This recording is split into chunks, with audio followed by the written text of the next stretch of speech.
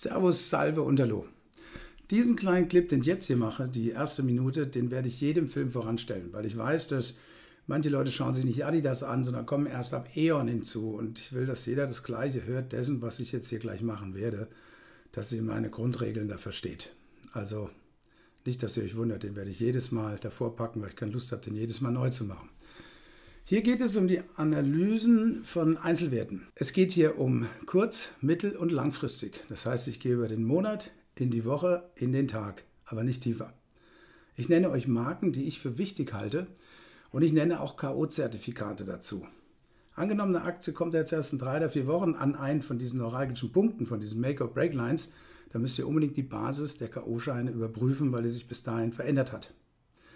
Ansonsten, ähm, weil ich immer wieder gefragt werde, was sind das für Chartsysteme und so weiter. Unter dem YouTube-Film habe ich einen Link immer noch zu den Trading Brothers bis Ende Januar, einen zu Trader Fox und einen zu Scalable. Wenn da einer draufklickt, das sind Affiliate-Links, da bekomme ich auch einen Schnitzel dafür, nur dass ihr das wisst. Aber bevor ich diese Frage fünfmal beantworte, ist der Trader Fox hier und äh, mein Konto ist bei Scalable, also eins der Konten ist bei Scalable. Nur, dass ihr das wisst. So, damit fange ich jetzt an und wünsche euch viel Spaß dabei.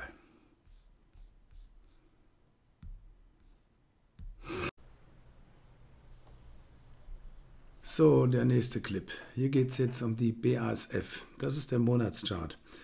Die BASF, ähm, da hat mich erstaunt, dass da nur relativ wenig K.O.-Scheine drauf gibt. Nur 3500. Normalerweise bei so einem DAX-Wert sind wir so um die 5000. Da war ich erstmal überrascht.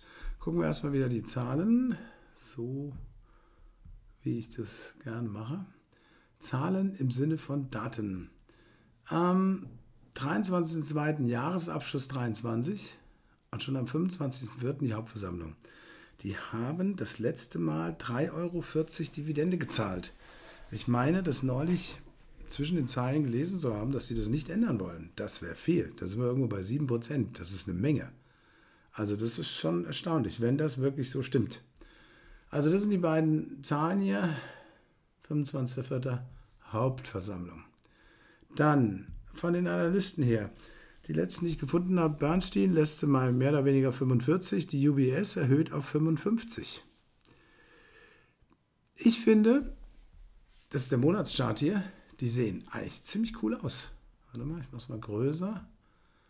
Die sehen gut aus. Ja? Idealerweise wäre ein relativ schnelles Überbieten von diesem letzten Zwischenhoch.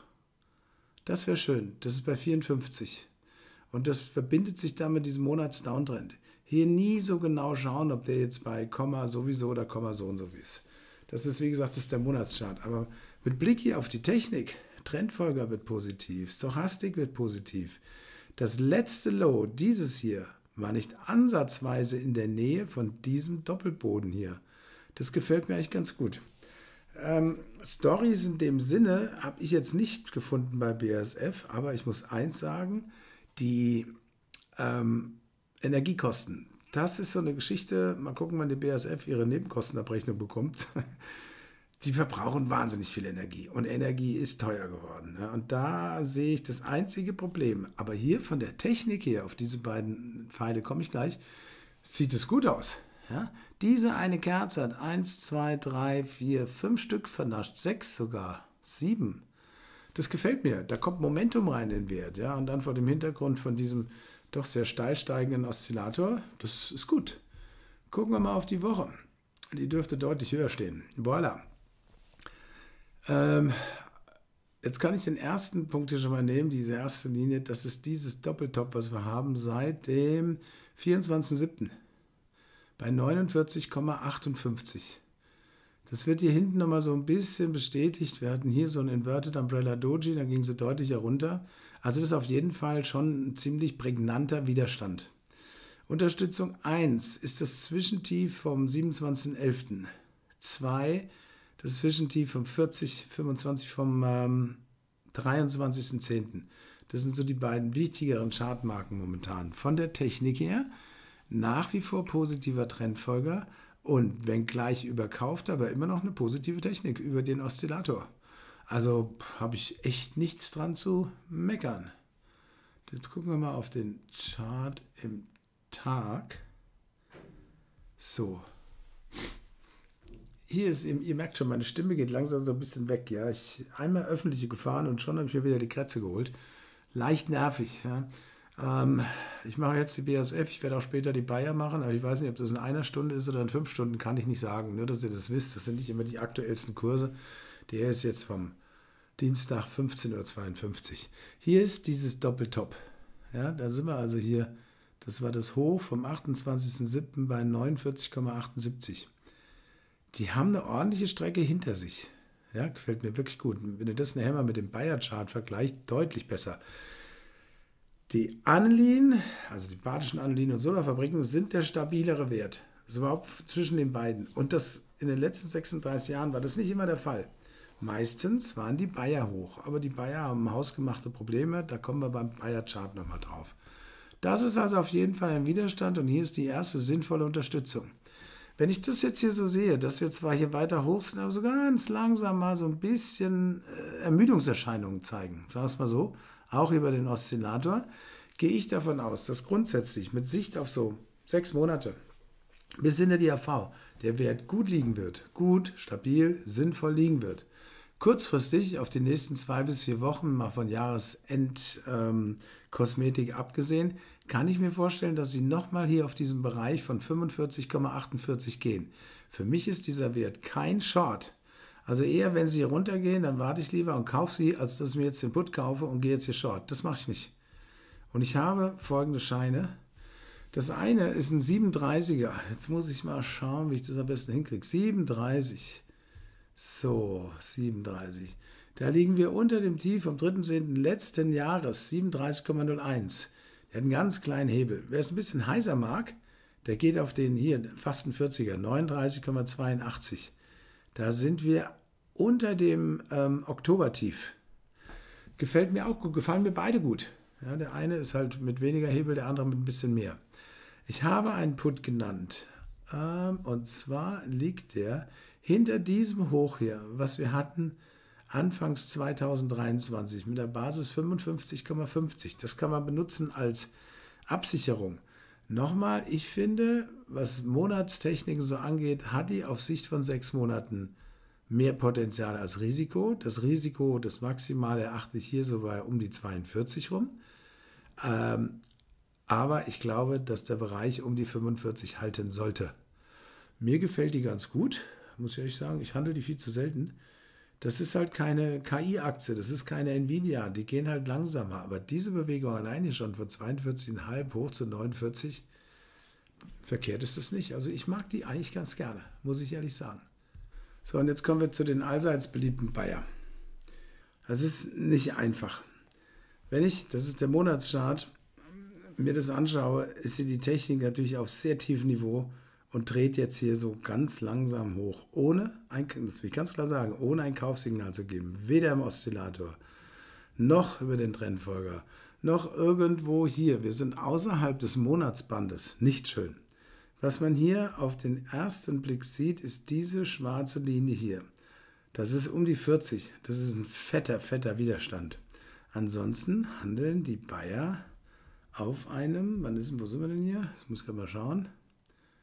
Das ist, das ist der Kurs von 2000, das kann ich sagen, 2006. Ja, also hier auf diesem Niveau handeln wir. Gut, jeder kennt die Story.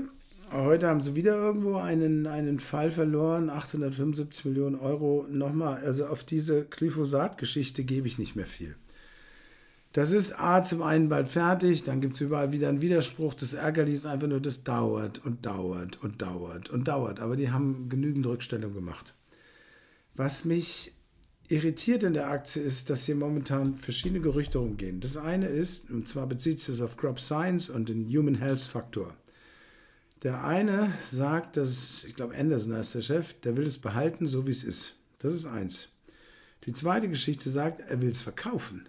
Crop Science und Human Health, ja, das, das verkaufen. Ja? Oder ein Spin-off. Ein Spin-off ist sowas, was Siemens gemacht hat mit Healthineers oder Siemens Energy. Das heißt, die behalten dann noch, was weiß ich, 25, 26 Prozent und geben den Rest frei. Das sind die drei Geschichten. ich kann mich daran erinnern, dass Ende der 90er Jahre die Höchst AG genau das Gleiche gemacht hat. Sie haben ein Spin-off nach dem anderen gemacht. Das hat der Aktie kurzfristig gut getan, weil es kam frisches Geld rein, aber auf einmal war das mehr oder weniger nur noch ein ja, Mantel, sagen wir es mal so. Und dann wurden sie von Sanofi übernommen. Und damit wurde das Werk von hier Meister Lucius und Brüning, das dann überging in die Höchster Farben AG, nach 100 Jahren gab es sie nicht mehr.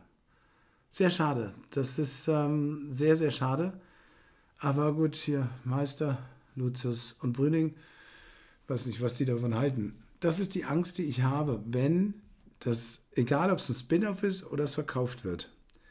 Nicht gut, nicht gut. Das ist mein Problem. Auf der anderen Seite, jetzt gehe ich mal hier auf den Wochenchart. Ich versuche jetzt meine Techniker raushängen zu lassen. Wir sind auch über die Woche auf einem extrem tiefen Niveau, allerdings schon seit dem 9.10. Ja, wir kennen alle die Geschichte hier mit Asundexian. Das hat mich auch erwischt, ja, und da habe ich wieder festgestellt, dass es doch sinnvoll ist, dass man die Scheine nimmt, die nicht zu weit weg liegen. Also so, was weiß ich, ein, ein 32er Schein, als die von 40 runtergegangen sind oder sowas. Ich hatte einen 37er, das hat auch Geld gekostet. Also die Aktie schuldet mir was, sagen es mal so. so drücke ich das gerne aus. Ich habe hier einen Alarm gelegt. Der ist bei 32,50, da komme ich gleich auf den Tageschart drauf.